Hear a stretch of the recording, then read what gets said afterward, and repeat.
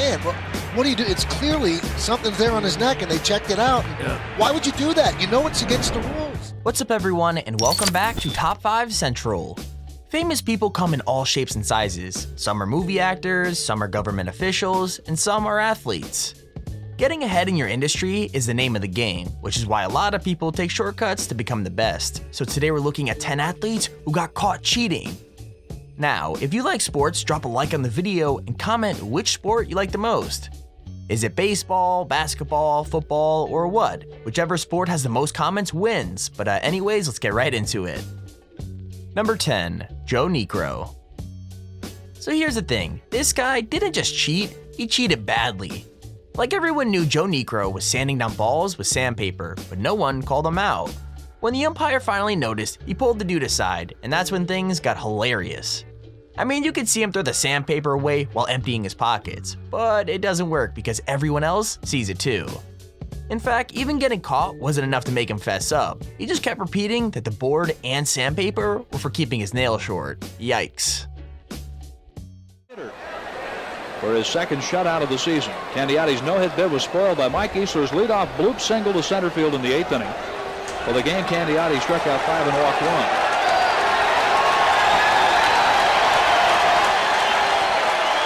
They are inspecting Phil Niekro.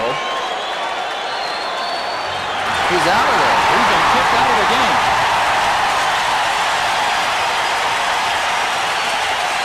And Joe Niekro emptied his pockets. They kicked him out of the game.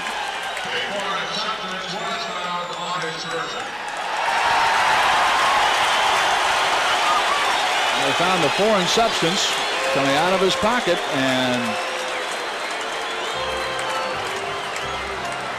and out. Number 9, Michael Pineda. Now we're putting this guy on the list because he got tossed from the game, but I'll be honest, there seems to be a lot of debate about whether this counts as cheating or not. Basically, Michael Pineda got called out for having pine tar on his hands and neck, which is supposed to give a pitcher a better grip, but can also make the ball move in unpredictable ways. No one actually knows if it actually works, and even the commentators try and justify what he's doing. With that said, he did get thrown out of the game, so I'm guessing the umpire definitely had his mind made up.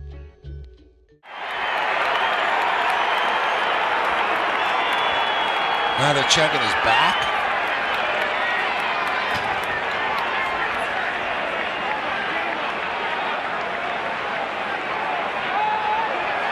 By saying it's against the rules. I get Why that. would you have it so apparent on your neck and the other time on his hand? Well, what do you do? It's clearly something's there on his neck and they checked it out. Yeah. Why would you do that? You know it's against the rules.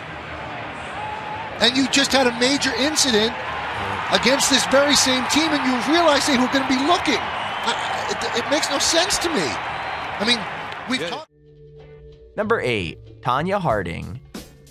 Figure skating isn't exactly the most popular sport in the world, but this scandal is so big that it's even been on the big screen.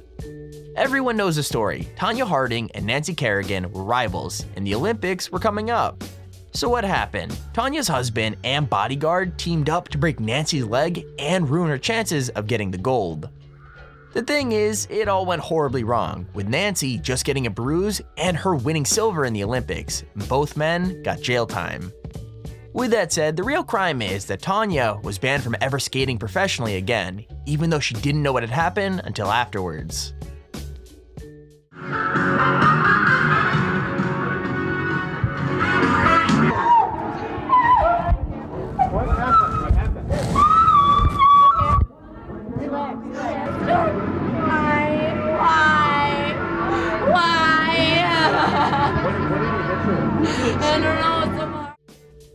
Number 7. Dwight Howard.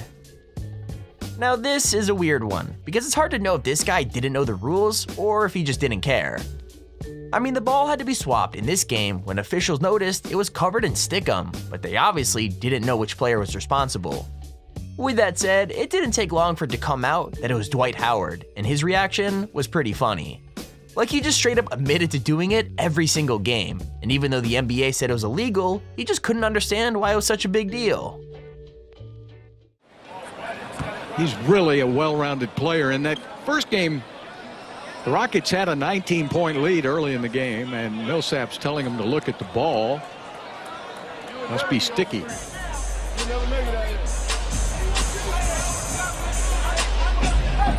There's an argument going on. The officials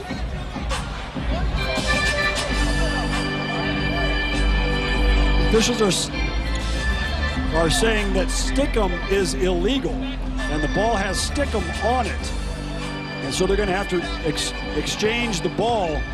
And the officials have warned both teams that stickum is illegal. Do not use it.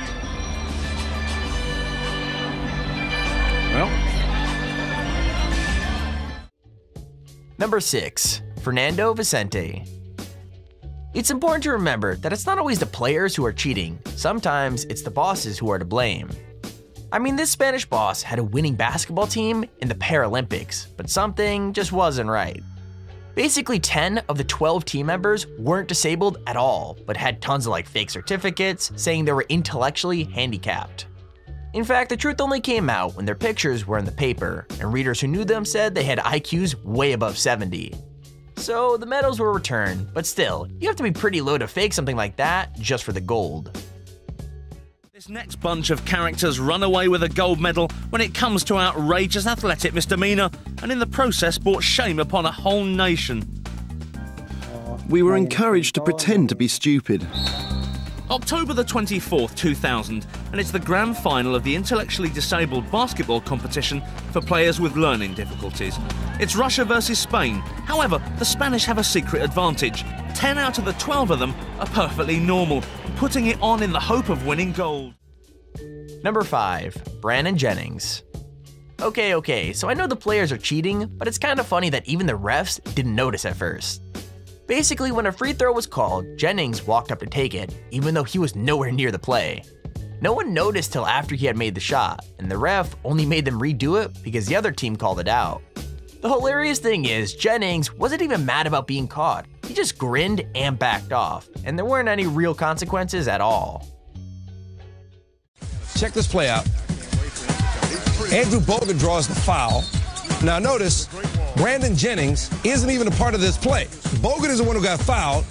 Jennings is an 81% free throw shooter. He walks to the line. Bogut, a 59% free throw shooter, he walks underneath. The Bucks are trying to pull a fast one. Nobody notices, including the ref. He gives Jennings the ball. Jennings shoots the free throw and makes it. And then people start to figure out, like, hey, wait a minute, man. he wasn't even involved. And Jennings like, what did I do? Number 4. Sal Alosi. I've already said that it's not always just players in the wrong, and this is another case of the coach causing bad behavior. Apparently, the coach told five members of the Jets to form a human wall on the sidelines, just to influence where the Dolphins gunner would go. Once he was right where he wanted him, the coach straight up tripped the gunner and sent him sprawling on his face. The thing is, even once the plan came out, nobody could actually decide for certain which parts broke the rules and which didn't. In fact, people still can't agree, so feel free to fight it out in the comments. He is on the Jets sideline. Boy, it looked like he got tripped by one of the uh, members of the Jets staff. Well, this is just uncalled for in the NFL. Watch the knee here being stuck out on purpose to trip up Nolan Carroll. Not sure who that person is, but they should be ashamed of themselves for that type of action. That has no place in any athletic event. Number 3. Ryan Matusz. Now it's obvious from this list that certain kind of cheats happen more than others, because this is the second baseball clip that ends with someone being thrown off for pine tar. Well, I guess that's not exactly true, because they didn't say it was pine tar, but either way, pitcher Matusz was removed for having a quote-unquote foreign substance on his arm. The crazy thing is, this happened less than a year after Pineda was removed for the same thing, and just a week after another player was caught doing it too. So uh, yeah, it looks like the MLB definitely has a reoccurring problem. It's going to be an awkward conversation. He's been thrown out of the game. Brian Matusz becomes the second big league pitcher this week to get thrown out of a game for a foreign substance on his arm. Matusz thrown out in a scoreless game in the 12th.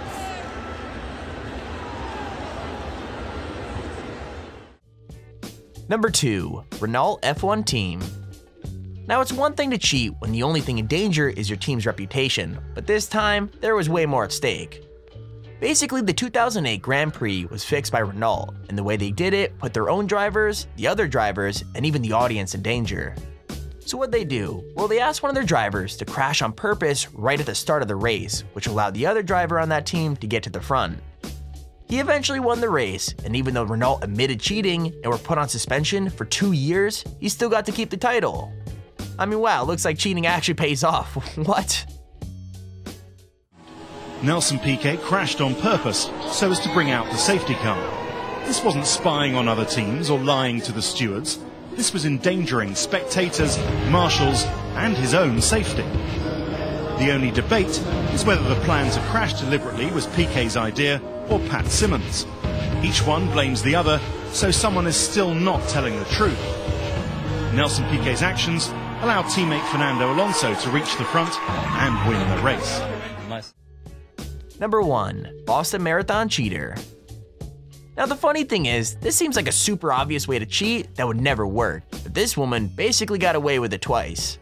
I mean, a year before this clip, she cheated by getting a subway to the marathon finish line, and then in 1980, she cheated again. She was uncovered pretty quickly after that, and her mistake was coming in first. Like all she did was run out from the crowd about a half a mile from the finish line, and when the media told her it could be a new American record, it was pretty obvious she wasn't a real runner at all. Oops. No one is sure how she did it, but this unknown runner came out of nowhere ahead of all the other women. I just saw someone stumble out of the crowd uh, in front of me across the street. This was on Commonwealth Ave, probably about a half mile from What nobody knew yet was that six months before, Rosie allegedly took a subway to the finish line of the New York Marathon. So this was actually her second ruse, and she almost pulled it off. Her big mistake was coming in first. The media rushed to her side, but soon it became apparent that she was a not-so-great imposter. We're here with the women's winner. She's getting a case of the sneezes. Rosie, Rosie Ruiz. Sorry. Rosie Ruiz, the women's winner in the Boston Marathon today with a time of 2:31 and change. Now we don't know how many seconds that is. It may be a new American record. And there's our video on the top 10 athletes who got caught cheating. If you enjoyed the video and you want to see a part 2, make sure to click the like button and subscribe so you never miss another video. We do all types of top 5s and top 10s, but we're always open to suggestions, so if you guys want to see a video, make sure to leave it down in the comments below. But uh, anyways, thank you all for watching, hope you enjoyed, and I'll see you all in the next video.